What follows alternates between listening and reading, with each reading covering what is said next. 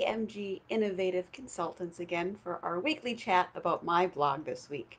So, this month we're talking about how to organize your stores for a more fluid replenishment rate, for uh, ability to really maximize what you're selling and how quickly you're selling uh, in order to make that top dollar versus having to wait for things to go on sale. So one of the main keys uh, uh, I discovered in my 20 years of working retail is if you happen to have a backstock area, even if it's minimal, if it's in the backstock, guess what? It's not selling. It's not on your floor. So one of my big keys that I learned in my the second store that I actually ever run was how your organized backstock, how organized your backstock was depended on how much money you could add to your bottom dollar your bottom line. So that second store was a store that I took from being a $500,000 store a year and on the verge of a closing list to in two and a half years an $8 million store. A minimum of $1 million to my bottom line was added because we reorganized how we did shipping and receiving and how we organized our back room. That was our main key.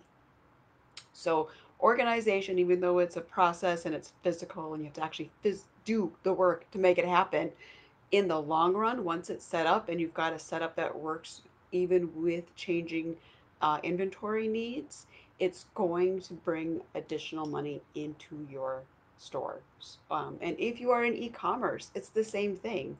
I mean, if you can't, if you have an item listed on inventory and you can't find it, you're you need to look at how you're organized. So again, one of the things I can do for people is I can actually come in and help you create an organization plan and look at how best to organize your setups to maximize the amount of money that you're going to bring in at top dollar versus having to go sell it because 6 months later a seasonal item you find hidden under something else.